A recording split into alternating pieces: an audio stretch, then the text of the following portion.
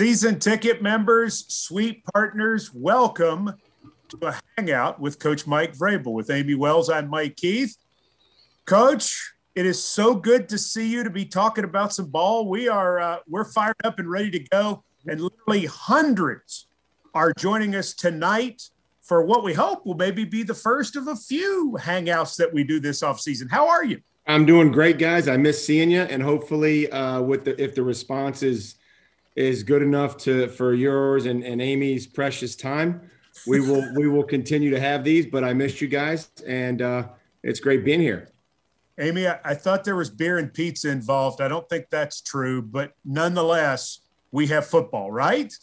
Absolutely, and I think football is better than beer and pizza most of the time. Or all three together is pretty. All three together is pretty great.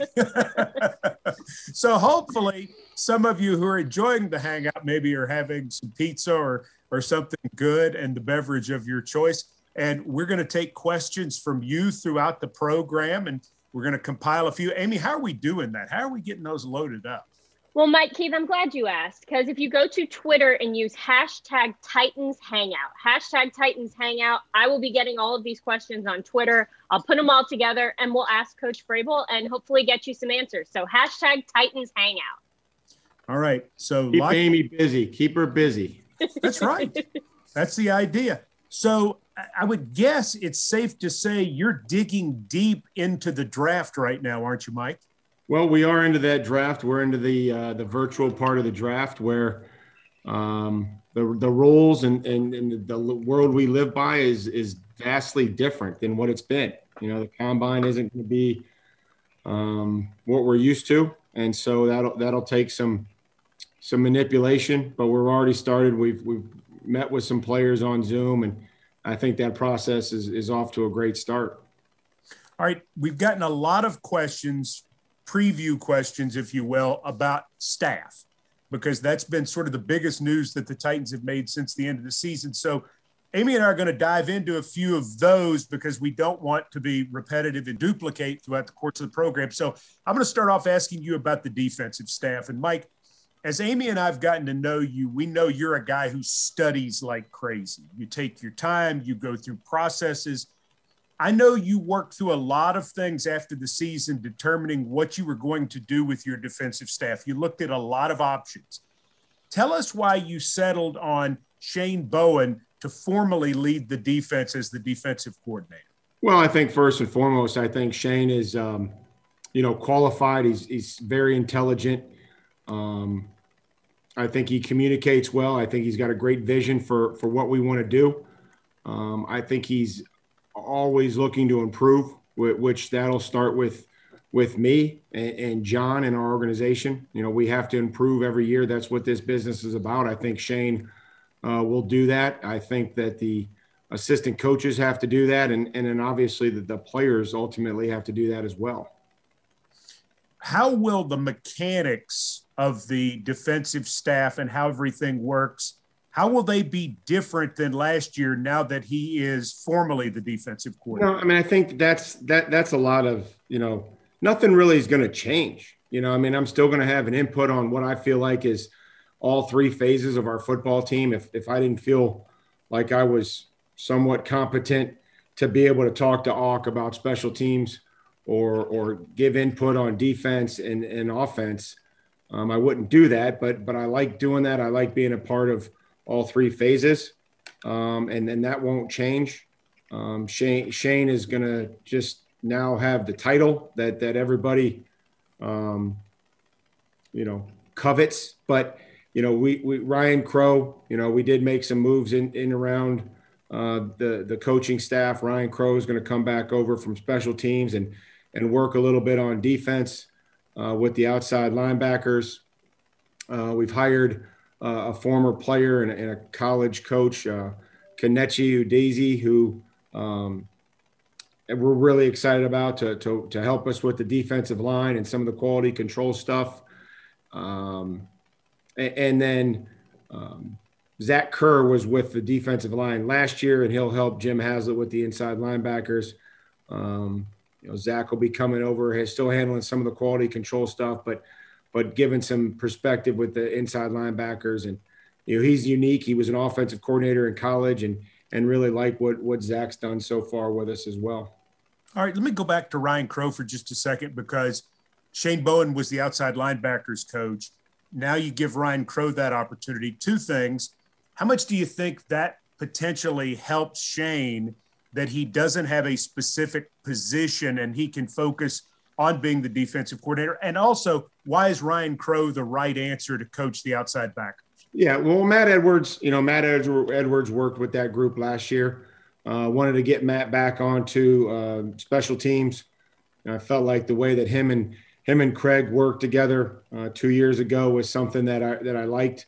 Um, you, you, know, Ryan is is, is a young, um, exciting coach who is creative, um, who has background in, in really all three phases, having worked in on offense and and defense with us, and then special teams. And so, you know, I think that he um, you know brings a brings a background that that's going to allow these guys to to learn, but also, you know, I think be be creative in, in his role uh, as he coaches that position.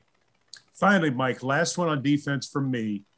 How much more important was the thought about continuity in staff, knowing that it certainly feels like your off season is going to again be very virtual?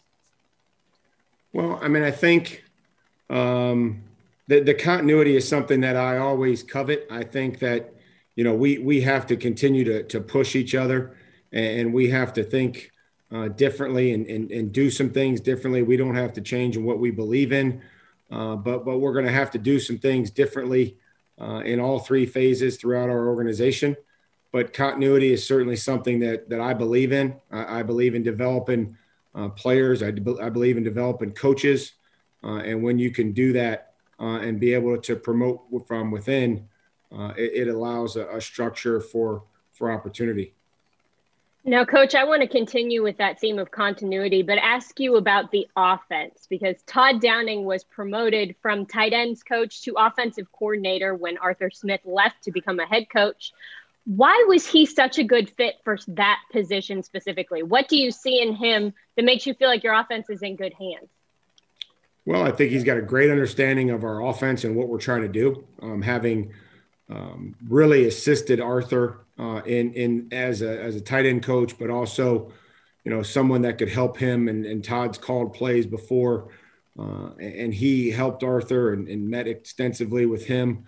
Uh, was a large part of what we did in the red zone, and uh, and and his knowledge and his passion. And again, I, I think he, you know, did a great job with that unit that he had and you know that's all what we always strive for is do the best job at the job that you have and you know, i think some opportunities will come for you. So there was a position left open in the tight ends room and luke steckel was moved into that role. Now luke's a guy that we've seen kind of work through the coaching ranks. Why is now the right time to give him his own room? Well because he's he's earned it. I think he's earned that opportunity. He's earned the right i've watched him work. Um, you know kept luke you know here when when i got here. Um, he, he's done nothing but in, excel in, in every uh, job that we've given him. Um, and again, he, he worked hand in hand with Arthur last year uh, to help Arthur uh, with things that he needed. Um, I challenged Luke to, to, to do some things last year to improve. I felt like he did that. And, uh, you know, I'm excited to watch him work with, you know, work with that group. Well, it really seems that you were pleased with the performance of the Titans offensive coaching staff, and the Titans offense was really dynamic in 2020. How much do you attribute that success to the teachers that you have on that side of the ball? Well, I mean, I think I'm always going to attribute the success to the players, Amie. I mean, that's that that's what this game comes down to. Um, having had an opportunity to play it and, and coach it, but I, do think that we have great teachers. I think that that you know, I, when I see drills that that Tony Dews does with Derrick Henry translate onto the field, I know that you guys, you know, are at practice and you watch those things, and as you're watching our games and covering them, and you're like, yeah, I can remember when Tony was working on that with Derrick, and you know, Derrick's such a large part of what we do, and you know, drills that that Rob does with AJ, or you know, drills that Todd did with Jonnu, or any of them, and and that has to translate over to the field, and uh, I think that we've done that. Now, you know, we don't have all the answers offensively. I mean, there were games where, you know, we didn't we didn't play very well. You know, so I don't want to sit there and say that we have all the answers. You know, we have to play better against, you know, elite defenses. You know, Chicago and Green Bay, we didn't play very well. Uh, the the second Ravens game, you know, so Pittsburgh, there's there's some things that we have to to do better, and uh, and I'm confident that we'll, you know, we will. Right around the corner, three Titans fans, actually four, because there's a couple and then two other Titans fans, are going to get a chance to ask Mike Vrabel a question in person. You can send in a question via Twitter. Tell them, Amie, how you do it. Hashtag Titans Hangout. Go right now. All right. So we're going to get in as many as we can. But before we jump into more questions, let's take a look at the top five moments of the Titans 2020 season.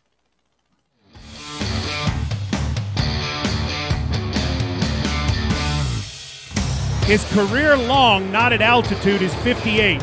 Right hash for the lead. Snap, set, kick. Good! Henry is in the gun. Okay. It's the King Cat. Henry running to the left, into the end zone. Touchdown, Titans! Yo! Titans win 42 to 36 as Arthur Smith comes with the King Cat for the final five yards and the victory. Play fake. Oh, Tannehill yeah. rolling to the right. He can throw it. He can run it. He'll pull back at the last minute and throw a touchdown pass to Jonnu Smith. Very few people thought this could happen tonight as the Titans, after 16 days off, get it done again. Right hand, 37 yards to win it. Snap. Sloman's kick is up. His kick hits the upright and goes through. Yes! It's yes! good! Yes, yes, yes! And the 2020 AFC South champions reside in the 6 1 5. Tannehill takes the snap, gives Henry Henry charging forward for five yards and a first down at 2,000. History for the King.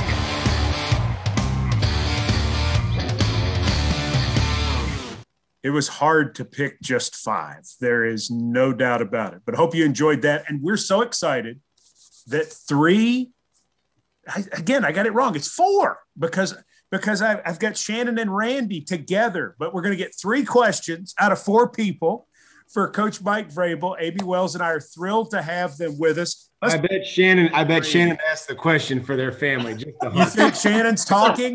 just a hunch. Yeah, Shannon and Randy from Hopkinsville, better known to all of us locals as Hoptown. How's the weather up there? A little snowy, but it's getting better. Titans football is getting ready to come up for us. All right, these good folks sit in section 237. Shannon, Randy, fire away for Mike Vrabel. All right, first of all, coach, we like the way the direction the team's going. You're doing an outstanding job. But with that being said, our pass defense in the bottom eight last year. What are we going to do to turn that around? Well, first of all, thank you guys uh, for your support, uh, being season ticket members. You know, we look forward to getting everybody back into the stadium, uh, being able to interact with our fans. Um, and, and absolutely, Randy, this is this is a passing league.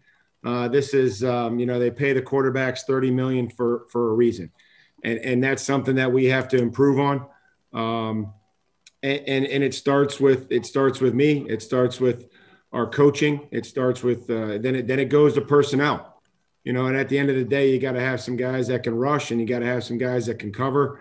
Um, and I do think that we're going to still continue to be multiple and play, you know, some different coverages. And I think that that's important. Uh, that's that's been proven uh, to to work, and uh, those are some things that we'll continue to do. But uh, you know that is something that you have to do in the National Football League. You have to affect the quarterback. You have to be on body. You, you, you can't sit there and and and play Um, a lot of zone. I think you can mix it up, but at the end of the day, you got to have guys that can that can match up with people. You lost the bet, coach, because Randy asked the question. I absolutely thought that she was going to ask that question. you anything you want to throw in there, Shannon? Because it's your time too. You're on the program. Well, I love football, so that's why I'm here. what do you, love, up, what do you love about football? Because I always ask our draft guys, like, hey, I mean, they're every they all love football. They they don't they don't like love everything else that comes with it, but they love football. What do you love about football, Shannon? You know, I grew up with Dallas and the Steelers, and that's the era that I come from, and uh, just it was a part of every every Sunday, and you know that's how I grew up, and so like Margaret said earlier, having the NFL team come to Nashville, it's just been a blessing that we can go see NFL football here. It's just been wonderful. What's your favorite position to kind of watch? What's your? I love the. I, I, love the Blue Crew drum line. no, no, no. Uh, uh, quarterback, center, center. Ben Jones. There you go. That's great stuff. Hey, listen, uh, Shannon and Randy, you're representing an important part of Titans Nation, and that is all of our fans in Western Kentucky who have been with us since day one. Uh, thanks for being season ticket members, and keep all those people up in the bluegrass uh, going with the Tennessee Titans as well. It's a different blue down here, but they can be for that too. and go Titans. Yeah, go Titans. That away. Thank you. All right, Rashed Rashed from section 121, you're on the program. How are you, my friend? I'm doing great. This is exciting. Uh, it is exciting. Really appreciate what y'all are doing with the t- season ticket holders, being a, I guess, a lifelong inaugural season ticket member. And Coach Vrabel, pleasure to meet you again. I met you, I guess, the first time you hosted a radio show when you first came. I think it was your birthday, if I'm not mistaken, and got to take a picture with you. So, uh, my question is there's always a risk versus a reward factor in signing a star later in their career. With the tale of two players, Tom Brady and Jadeveon Clowney, one who continues to pay dividends two decades into his career, the GOAT, and another which did not pan out for whatever reasons, injuries. How do you approach the risk versus rewards factor with JJ Watt during this phase of his career? Well, one, you know, first of all, I want to thank you. You know, just like Randy and Shannon and all our other season ticket members, I want to thank you uh, for your excitement for for having a jersey on and, and, and buying our apparel and being excited about football. Um, you know, those are those are two great examples. And you know, when you go into free agency, there, there's a lot of things about player acquisition that go into it. What's best for your football team? Um, you know, cost basis is, is, is also a part of it. Um, the, the fit is, is a, is a, is a part of it. And then the need, and then what, what you need, what you you feel like your team needs. And so, you know, you mentioned JJ Watt, there'll be other, you know, veteran players that become available that we'll have to um, have discussions on. And we have had discussions on JJ Watt and, you know, Jon alluded that to that the other day. So, um, you know, those are all those are a lot of things that go into it uh, um, about you know bringing in free agents. Certainly, ones that are past you know 30 or in the back half of their career. Um, and so those are all things that you wage and, and you determine. It's a really good question. You want to introduce your friend there? Yeah, my friend. My this is my son. He's uh, Yusuf. He's in uh, at Belmont. Hey, boy, you get Another one basketball high, going high right now, don't you? What's that? You got some basketball going at Belmont right yeah, now. We're doing oh good. yeah, the best. And uh, man, we love football too. We were playing football outside in the backyard in the snow. We live near in the corner of uh, Forest Hills and Green Hills, and boy, that snow was incredible. Almost yeah. remind, uh, reminded of that New England versus Raiders game, right, Mike? Uh, Coach yep. Vrabel? Yeah, exactly. That uh, that's a great memory. I, I, mean, you love football, and that was, um, you know, the old Tuck rule. That was a night game, and that that snow started, and and and really there wasn't much snow during the day, and it started around three o'clock, and it snowed all the way through to eight thirty, and you know there were ten or twelve inches of snow on the field, and that kick that Adam Vinatieri made will be the greatest kick uh, in NFL history, uh, just because of the conditions. it was hard even just to play football, let alone kick kick a 50 yard field goal. Um, we were joking with the coaches this morning on our staff meeting. We're, we're working from home, but you know that back in the day we would put jeans on and sweatpants over our jeans and go outside and play football, and uh, that that was our version of snow pants. Well, y'all y'all played. At least you had snow versus that ice game, that uh, cold game in the playoffs in two, January 2004.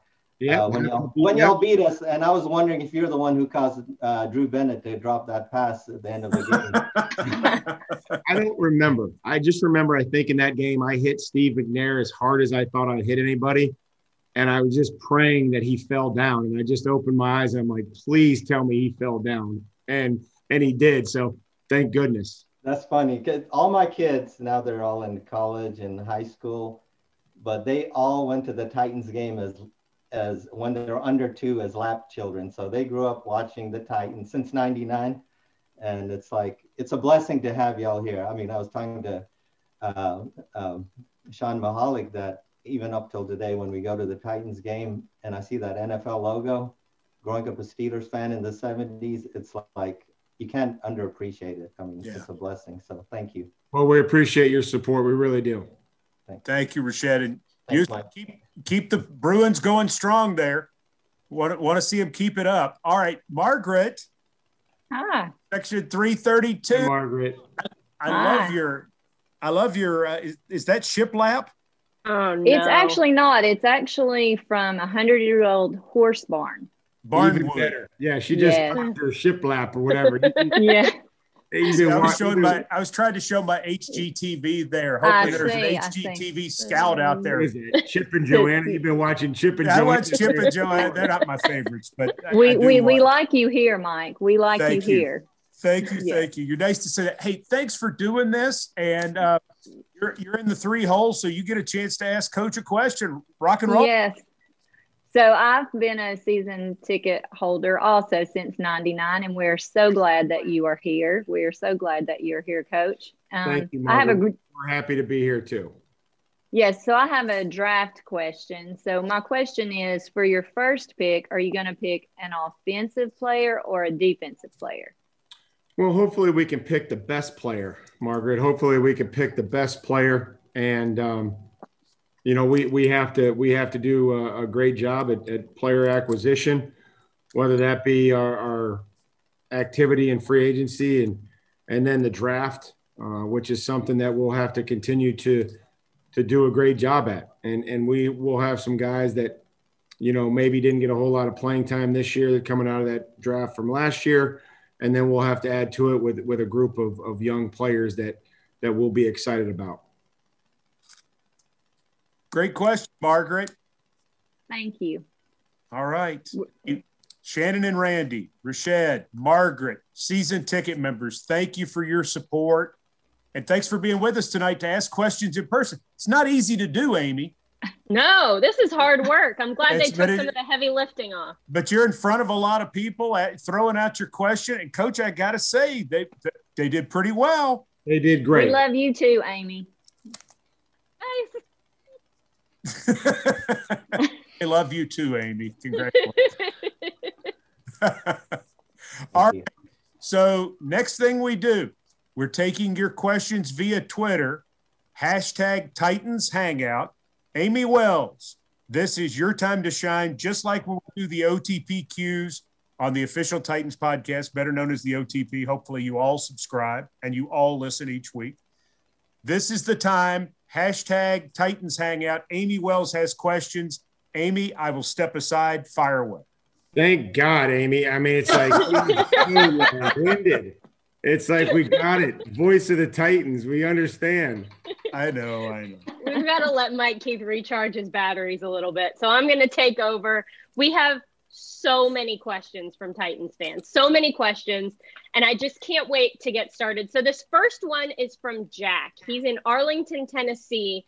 And he asks Can you give us some insight into how both Jon Robinson's staff and your staff work together to make the best decisions in free agency and the draft?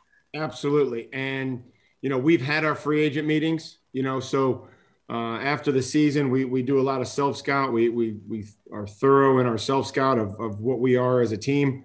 We have evaluations with Jon. Our coaches speak uh, to Jon and to myself about their positions, about the players, uh, about their future, about the vision that they have for those players. Um, at that point in time, then then we send them off with a free agent list of potential uh, players at their position for them to evaluate.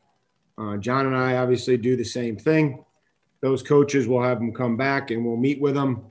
Uh, they'll give us their vision on those players if they feel like they're a fit, would they like to coach them, what they know about them, and and then we we take that information, we take the the scouts information and what Jon and I feel is best for the team, you know, and then you try to make something work, you know, financially and and and, and fit wise for the football team. The same would be said for the draft. The player, the coaches, um, all have an, uh, a position uh, that they'll look at and that they'll evaluate. Uh, scouts have um, areas and crossover checks. So one scout may be a southeastern scout, and someone from the Midwest may do a crossover and, and, and look at his guys in, in his area.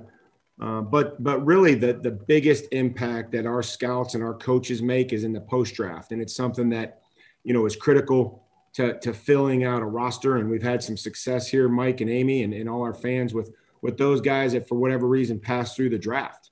And there's a lot of good football players that that go undrafted for whatever reason.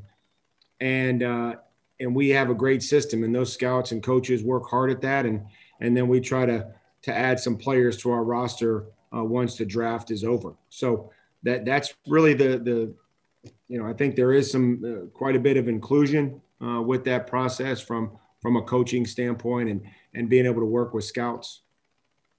All right, I've got a question from hashtag Titans Hangout. This is Josiah, and he's kind of keeping in the same vein of how you and Jon Robinson work together. He said, I'm a huge fan of what you and J Rob are doing. With the cap projected to decrease, how do you plan on handling that while still improving the team and re signing some free agents? Um, yeah, I mean, there's decisions that have to be made every year financially. I mean, this is that's this is the the nature of the National Football League. Uh, there is a business side of it, uh, and that you have to make some decisions. And and as we always try to do, we try to do them with the best interest of the Tennessee Titans in mind.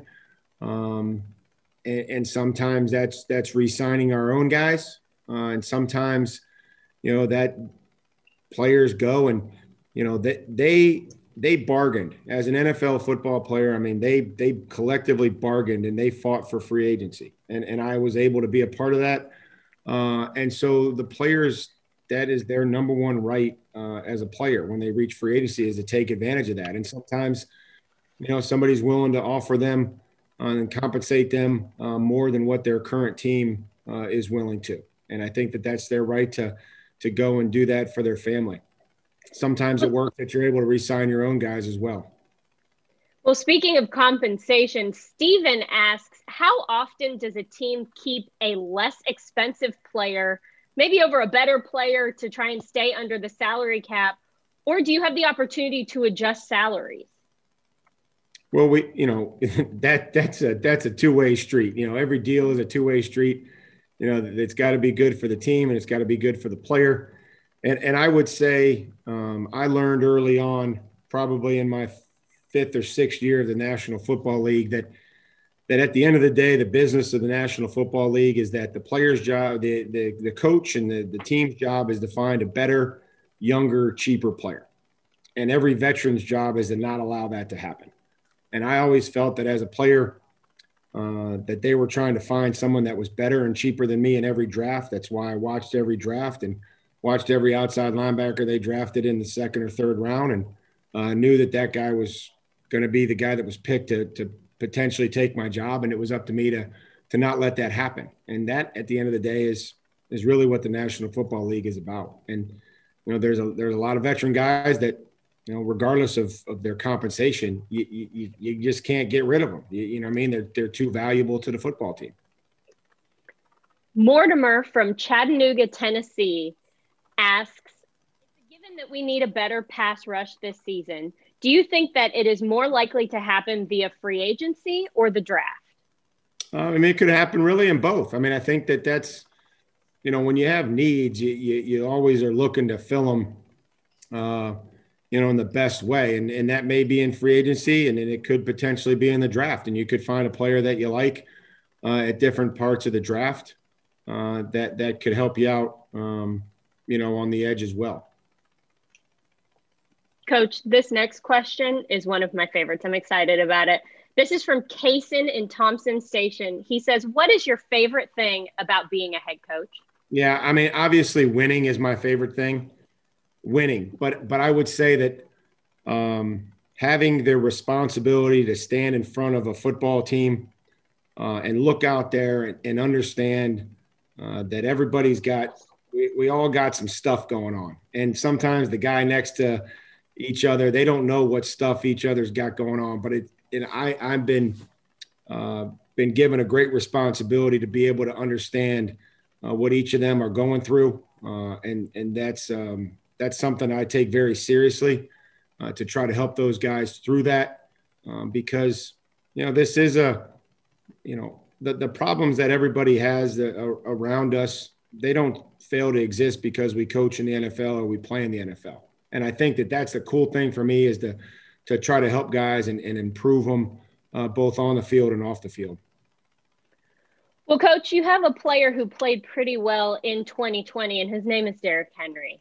Uh, Brandon from Memphis asks, What are your thoughts on Derrick Henry winning the Offensive Player of the Year? And how do you get him to build on last year's performance while constantly evolving the offense to match everybody's strengths? Well, uh, extremely excited and, and happy uh, for Derrick to, to get that recognition. Uh, had a fantastic season. Uh, he's fun to coach.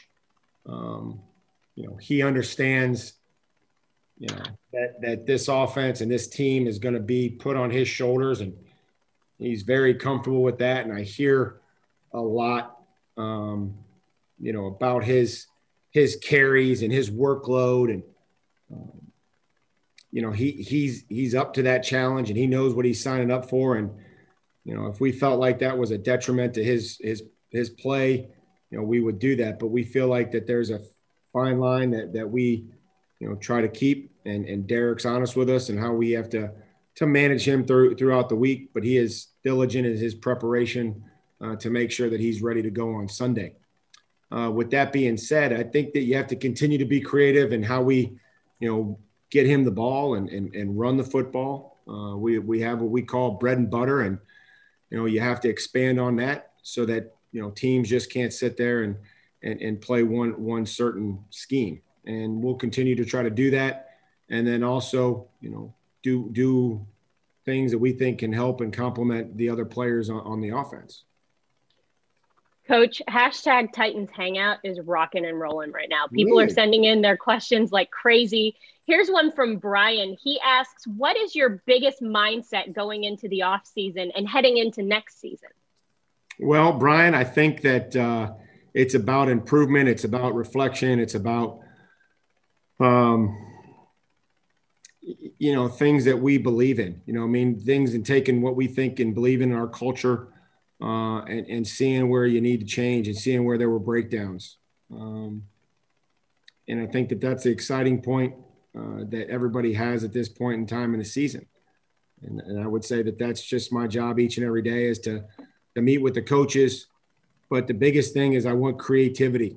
You know, this is the time for creativity. This is the time to to come up with ideas and see what we think of them. And I don't want guys to say, "Hey, this sounds crazy."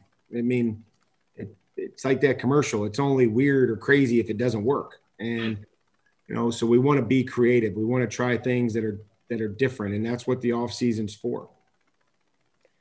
Well, coach, along that same mindset, Cash asks, what is some advice that you would give an aspiring college coach or any coach really?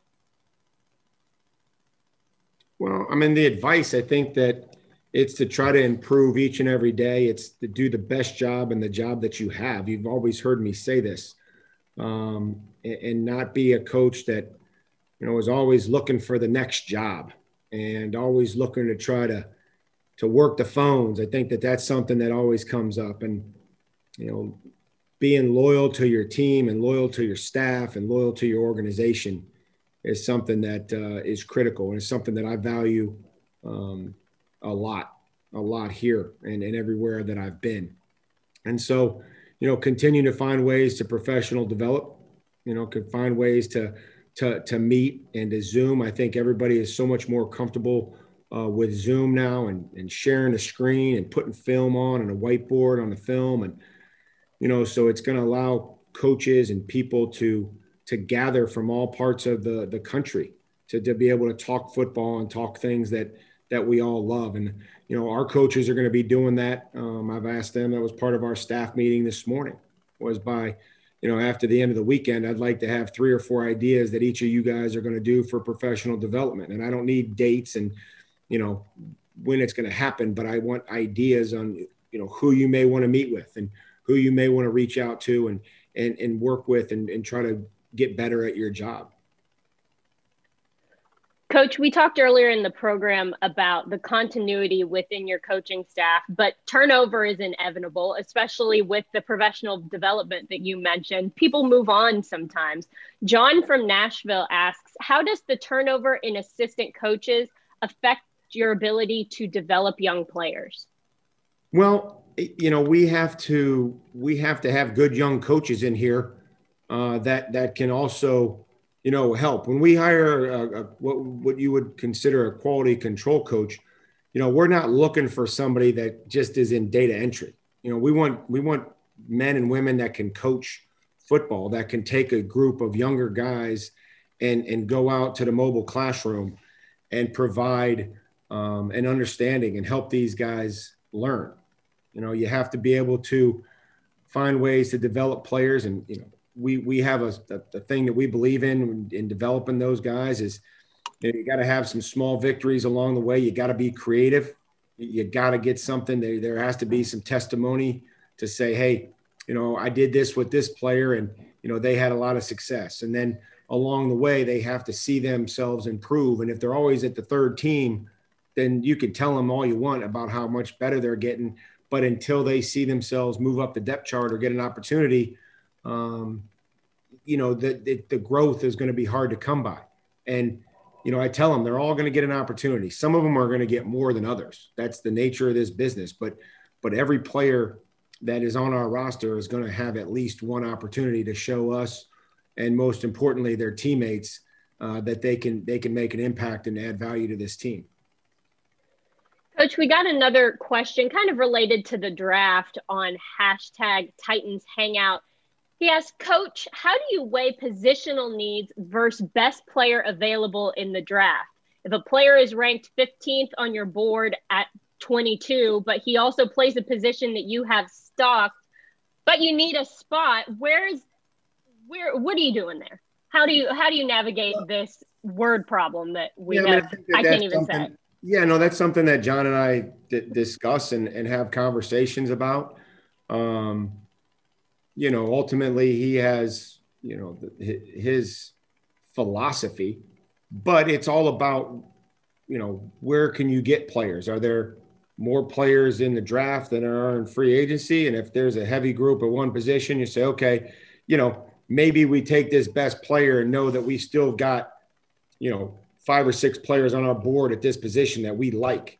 And, and that's why we look at our draft board. And ultimately, I think this is what I've really noticed is you're going to have clusters of players. You're going to have players that are clumped together. You're going to have three offensive guards. Okay, I'm going to use Nate Davis as an example. We we were in a group. Nate was in a group with three players, and around the time that he got picked, you know, we needed to determine which player out of that group was going to be best for us. And I think we made a a great decision. You know, seeing the player that he's become and, and, and will continue to to get better. But that you, you look at him and there's going to always be receivers that are kind of clumped in there. They got the the ranking is what the ranking and it's you know AJ's in here with these other three guys and it's like okay, how do you stack them? Which one's best for you? Uh, somebody else may think this guy is and that's really when I watch the draft. That's kind of how when your draft boards where you want it, you, you kind of see these clumps of players and they all kind of go, you know, around the same area. You just got to figure out which one's best for you. Coach Michael from Hendersonville says, Will you be looking for a kicker in the upcoming draft? He's not messing around. He just wants to know who you're going to pick right off the bat. Uh, you know, I mean, I think that, uh, you know, if there's a kicker available that we like, I mean, again, I, the only way that I can evaluate kickers is if they, they make them. And, and we have got to, we've got to make more kicks. And then I don't, I don't know if it's me. Maybe, maybe it is. I, I don't know. But, you know, we, their job is to make them and I and I can't tell them how to kick them straight. I can just see if they go straight or go through. Um, we've had some block, but you know we we feel like you know we're going to have to address that position and, and see what Stephen's going to do. And you know he's his contract's up and you know what he wants to do. But you know we're going to have to have guys in here that have you know competition and and that can we can find somebody that's going to make them. Coach, this is from Lawson. He says, You were a great player and you are a great coach. From your experience in both roles, do you think it's more difficult for young players to understand the physical and mental challenges of succeeding in the NFL? Do I think it's difficult for young players? Yes. Yeah, I mean, I think it is. I think it's, you know, what what their idea of the National Football League is may not be really what it is. It, it's not about the, the, the glitz and the glamour and the all pro and the cars and the and the G wagons and and the the penthouse suites. I mean, it's about a grind. You know, I mean, it is a grind to um, to show up every day, to to add value, to to to show the team that they um, you know can't can't live without you, and that is a daily grind and you know you have to prove your value to the football team each and every day um, and i think that our guys understand that. It's it's certainly not perfect but that that's the reality of the national football league that it's hard it's difficult it's competitive. It's the most competitive sport uh, in the world. And um, that's why we love it. Mike keith that was crazy. So many good questions and there's about 300 more that we couldn't even get to. So we're going to have to do this again at some point. We're going to have to. We're going to have to do it again. Um, but he mentioned G Wagon, which I know is what you drive. So I figured I'd toss it back to you now in your G Wagon. he said it's great in the snow. it really is. Super. Great, great traction. Thank um, you, Amie. That was a great job, Amie. Well, that's Thanks, yeah, she she does that well. Well played, Miss Wells. Very well done. Um, Mike is function when you actually close the yapper mic. She does okay. Oh, I I know. That's why that's why she took it. She told me just be quiet. I got this. But before we go with the season ticket members, Mike, I, I, I know you love doing these with the season ticket members. You you enjoy the interaction. If if you would just kind of give them a little thought on where you think we are right now as an organization, what's coming up, and and just I, I don't know, just give us a little sign off here, and then I'll close it out. Well, I mean, I think that we at least I, I, got here and they asked me what I wanted the culture to be. I wanted the culture to be about winning and competitiveness. And it, it it's always going to be about winning and, and being competitive in, in what we do uh, how we how we practice and, and, most especially how we play. And I think we've done that. Um, but we have to continue to improve. I mean, it's it, I mean we have to have some sustained success to continue to, to find ways to play for championships. Uh, that that will always be the goal. Um, but I think that we do have a, a, culture here that has shown that it can withstand, you know, some tough times. You know, when you lose a few games in a row, or you know you don't practice for two weeks because of a, a, a pandemic and, and, go out there and play i think they're resilient i think that they um, are great teammates and again it's it's something that i'm excited to be able to coach uh, very honored um, and, and gracious to be able to, to be the head coach of the titans with this group of players um, we, we, understand that we have to continue to get better we have to continue to be creative uh, in what we do and, and that's that's where we're at. And and again, I, I appreciate this. We'll do this again if there's interest from the fans. I want to do this because I know that when we had ten thousand people in there, that it sounded like we had thirty or forty thousand, and it did. And and that that is a testament to those fans that came, um, and and supported us and supported us through this entire season, and will support us uh, going into next year. Michael, thanks for doing this. You got it, guys. And to uh, Amie, great job as usual. Uh, to the fans, uh, you've been great. Like he was talking about how you responded in the playoff game and the noise you made. They've been like that since day one. And we appreciate you more than we could ever say. I want to remind everybody the deadline to renew is, is Monday. So make sure and, and get in there because if you've seen the schedule, we you know we're going to need your help in 2021 at Nissan Stadium we've got work to do because we want to do the heavy lifting that goes to that next place. So we'll do this again for Mike Vrabel, Amie Wells, Mike Keith. Thank you so much for joining us for the Titans Hangout with the head coach. Thanks, guys. Tighten up!